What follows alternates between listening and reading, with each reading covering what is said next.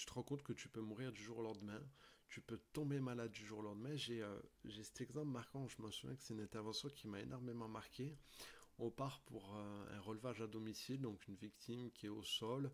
Je me souviens plus exactement si c'est lui qui a réussi à appeler ou si c'est un voisin qui n'a pas eu de nouvelles pendant plusieurs jours qu'appelle. Euh, bref, on va là-bas, on voit le monsieur, on l'aide à se relever, ça faisait plusieurs jours qu'il était au sol. Et je me souviens que ce monsieur n'était pas très vieux, peut-être 60, 65 ans, assez jeune.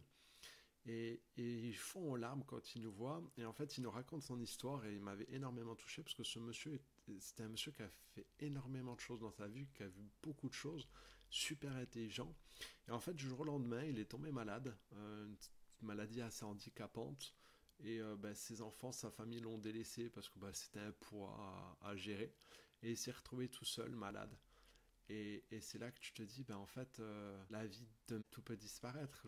avec les pompiers, alors pas de cas que j'ai été confronté, mais d'histoires qu'on a entendues, il y a combien de personnes qui ont travaillé toute leur vie pour attendre la retraite, arriver à la retraite, arrêt cardiaque, AVC, enfin peu importe.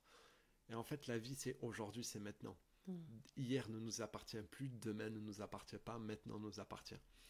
Et, il faut vivre maintenant. Et ça, avec les pompiers, ça a été une super bah, leçon de vie. Euh, du coup, je profite de maintenant parce que demain, peut-être, je serai plus en, forme pour être aventurier. Demain, bah, peut-être, je traverse la route, paf, une voiture arrive. Donc, en fait, c'est maintenant que je profite. C'est pas, pas demain.